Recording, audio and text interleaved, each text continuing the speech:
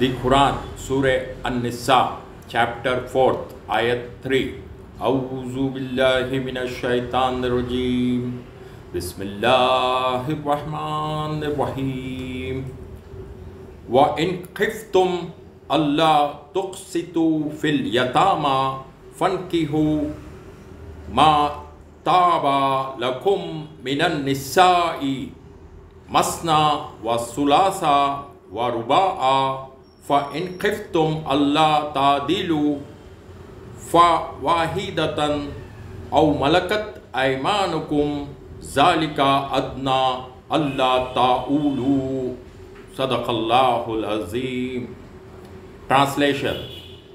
If you fear that you shall not be able to deal justly with the orphan girls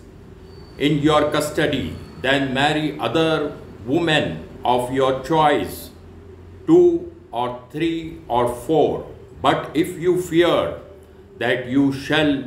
not be able to deal justly with them, then only one, or your slaves that your right hands possess, that is nearer to prevent you from doing injustice.